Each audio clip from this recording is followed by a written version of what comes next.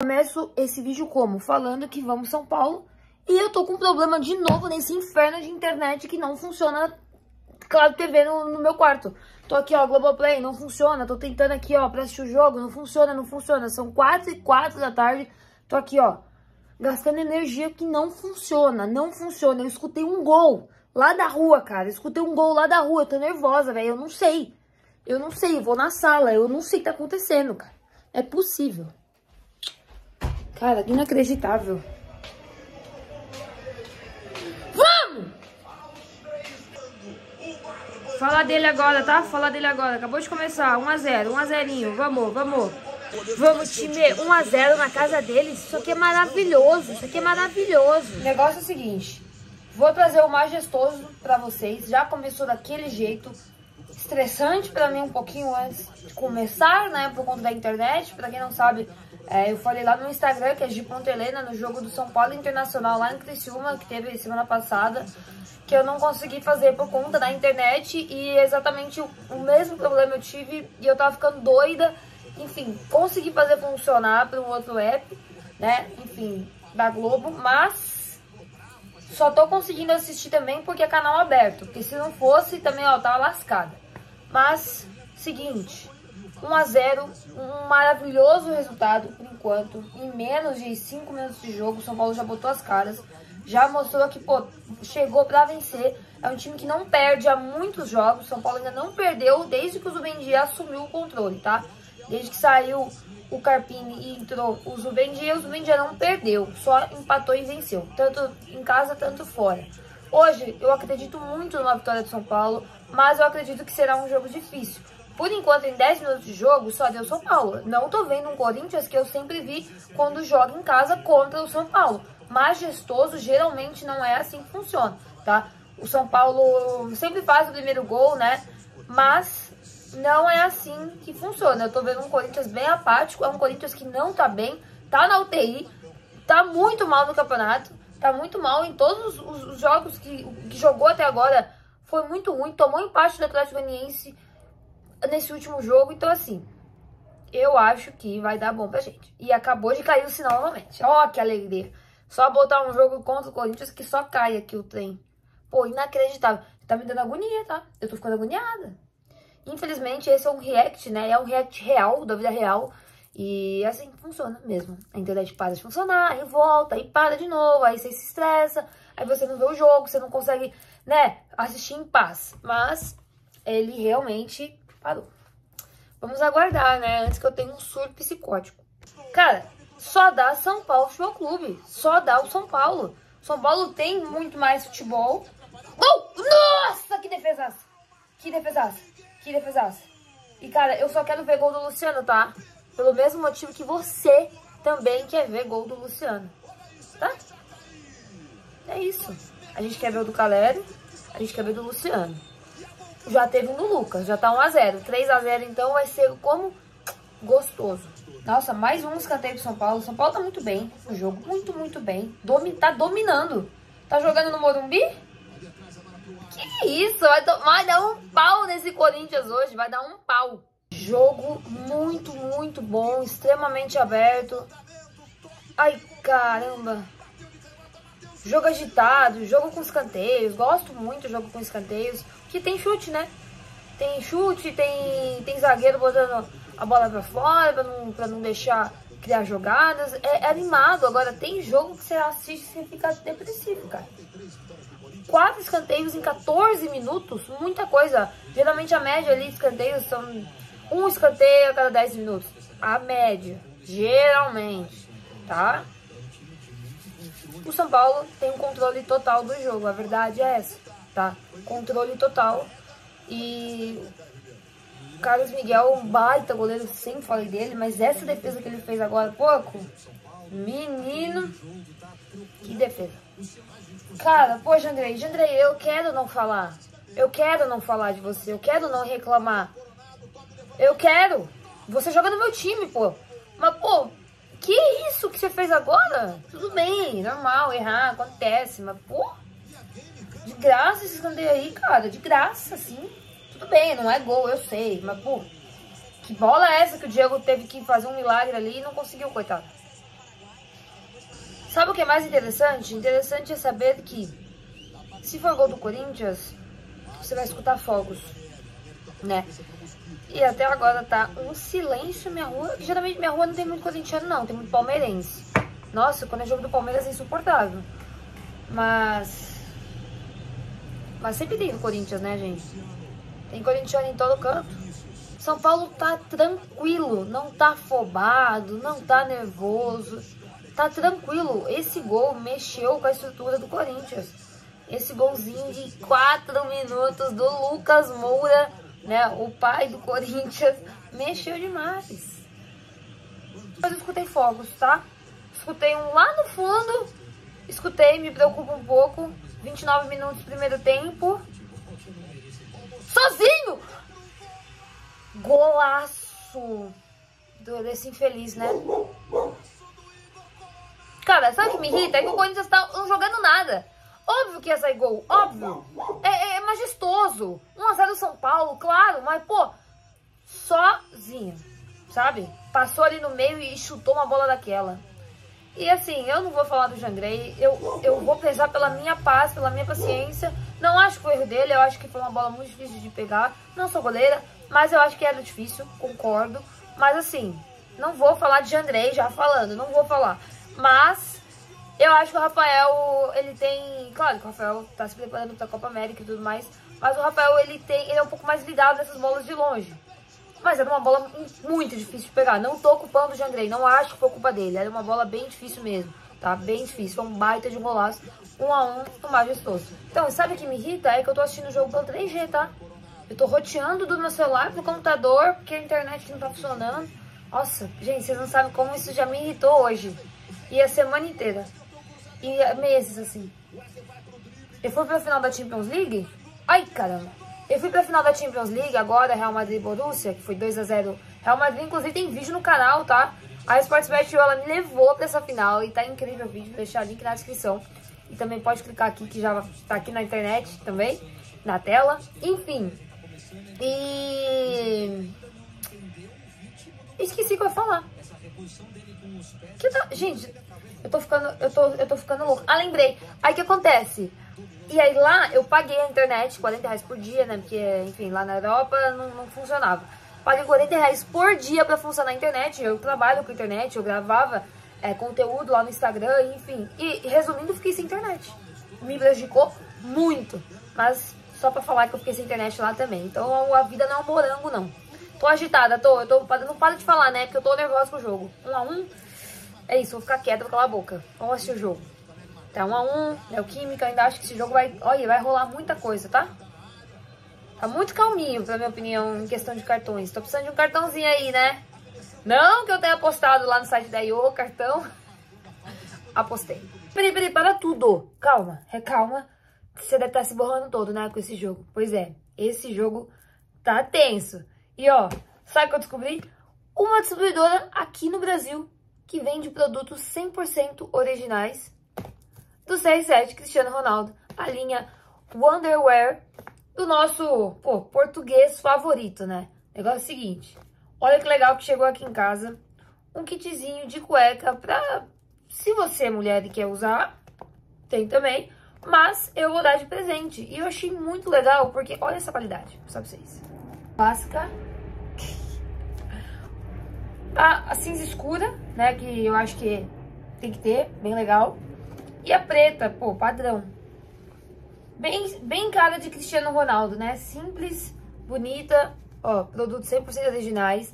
E é uma distribuidora nova aqui no Brasil, oficial, tá bom? Então eu vou deixar o link pra vocês aqui embaixo na descrição. Pra você, se você quiser comprar pra dar de presente, ou mesmo pra você, pra ficar naquele estilo do Papai Cris, né?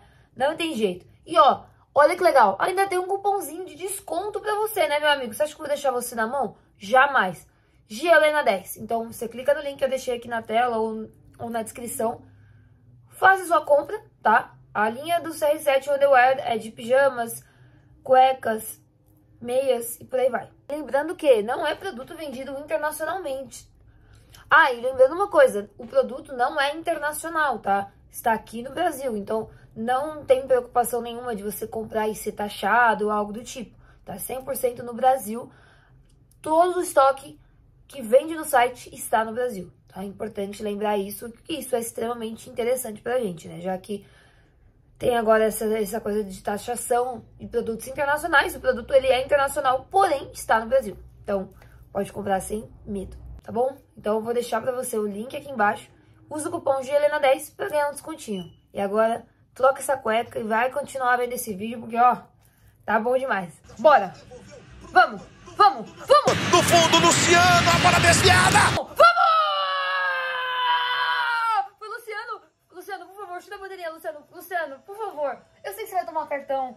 Ah, já era. Já era. Não vai chutar, Luciano? Tudo bem. Tava esperando, tava esperando. Lei do ex, né? Vamos lá. A única lei que não falha nesse mundo, no planeta Terra, é a lei do ex. A verdade é essa. Cancelou o gol? Não, né? Cancelou ou não cancelou? Não cancelou não, né, Juizão? Não.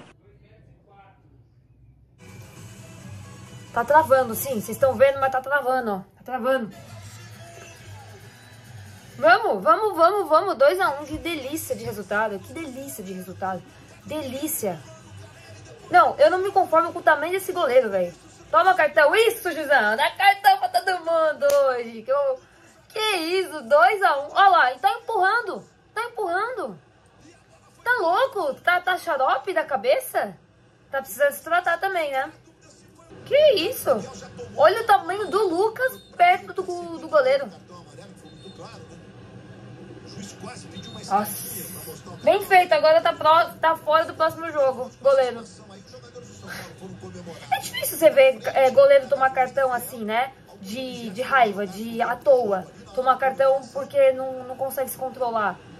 Porque, assim, geralmente o cartão de goleiro é como? Ah, toma, às vezes quando faz um pênalti, um negócio assim, é mais difícil. Ou quando enrola muito, né? Faz cera.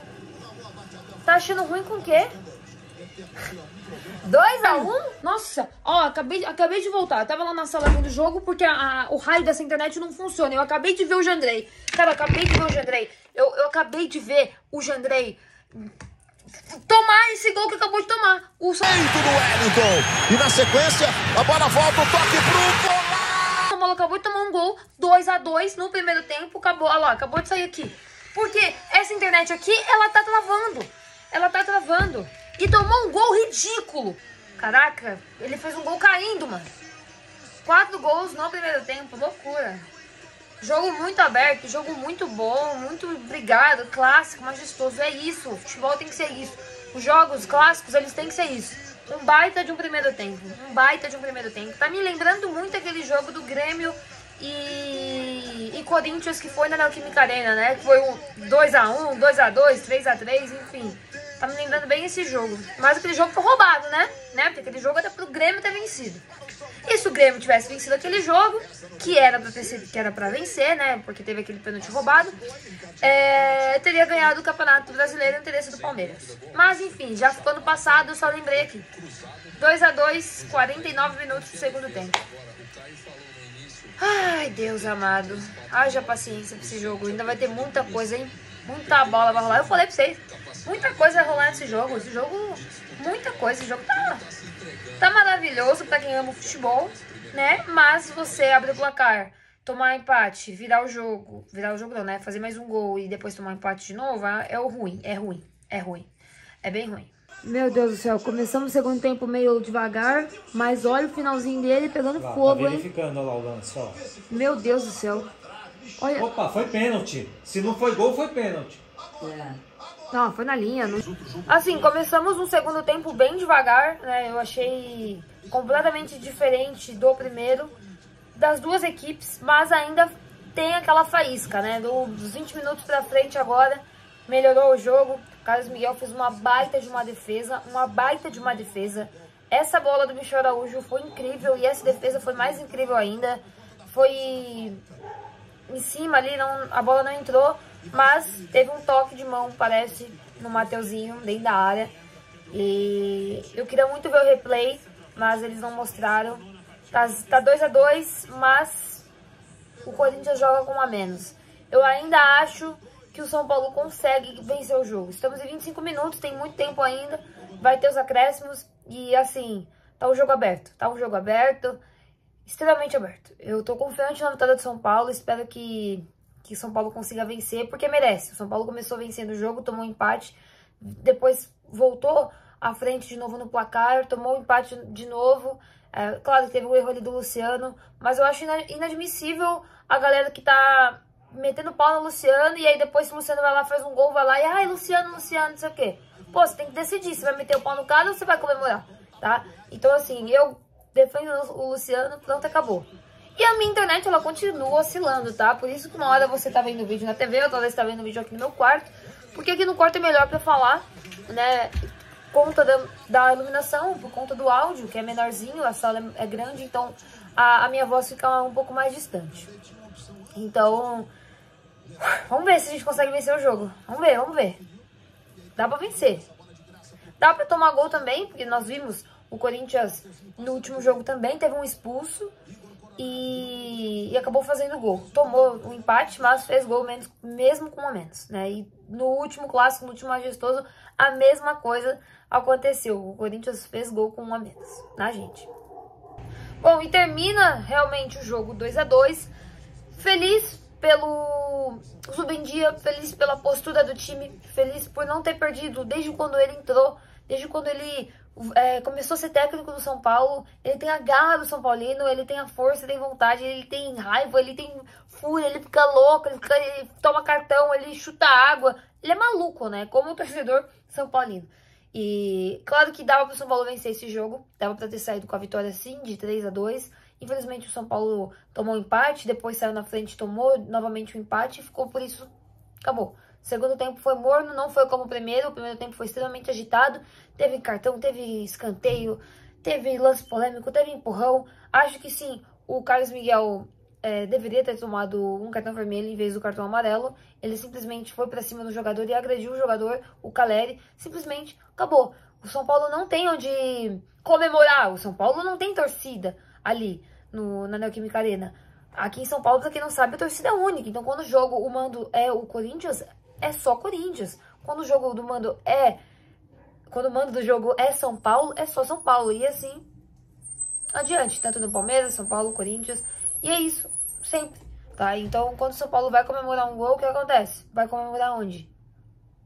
Ali no cantinho. E aí o cara falou, achou ruim? Ué, vai comemorar aonde, meu filho? Se doeu por quê? Ficou revoltado por quê? Sabe? Não tem, não tem aquele, aquela coisa assim. Achei apático, achei zoado. Vai fazer o que, né? Vem do Corinthians, não tem o que fazer. Ficou revoltadinho à toa. Então, esse é o resultado do jogo. Quero saber sua opinião, o que você achou. Se achou que foi roubado, se não, se foi justo, se São Paulo ter vencido o jogo. O que, que você acha? Se era pra ter expulsado o Carlos Miguel, o que, que você acha? E lembrando que o São Paulo tá tendo bastante, todos os jogos, assim, acho que os últimos jogos do São Paulo a maioria teve um expulso, tá? Não do São Paulo, mas enquanto o São Paulo estava enfrentando alguém. Então, Corinthians, Vitória, Atlético Goianiense, sempre teve, teve, um jogador expulso. É, é, importante ressaltar isso e prestar sempre atenção, tá? Então, vambora, bora ir pro próximo jogo. O São Paulo ainda tem o campeonato inteiro pela frente. O Corinthians deveria ter vencido o São Paulo porque está em casa. E ao dever de casa, você vencer um clássico em casa. Você tem que vencer um clássico em casa. Então, não ficou feio pro São Paulo foi o 5 do Corinthians, que tá ruim, tá jogando mal, só, só tá empatando ou perdendo, perdeu o Botafogo, empatou com o Atlético Ganiense fora, tomou um empate, tava vencendo de 2 a 0 tá lá embaixo na tabela. Então, assim, o melhor cenário pro corintiano, pro time do Corinthians, era ter vencido o jogo. Não empatado com o São Paulo Futebol Clube, tá? Então, é isso. Esse é o vídeo de hoje, espero que tenham gostado. E lembrando que tem vídeo no canal da Champions League, tá? Final entre Real Madrid e Borussia Dortmund. Eu saí daqui de São Paulo e fui lá para Inglaterra, Londres e trouxe para vocês de primeira mão todo o jogo e antes, depois e durante, tá? E minhas redes sociais de Ponto Helena. E ó, aguarde que quarta-feira vai ter São Paulo e Cuiabá. Só que eu recebi um convite muito especial. Então eu quero que você espere aqui nesse canal e lá no Instagram que vem novidade por aí. G. Helena. Corre. Beijos. Fui.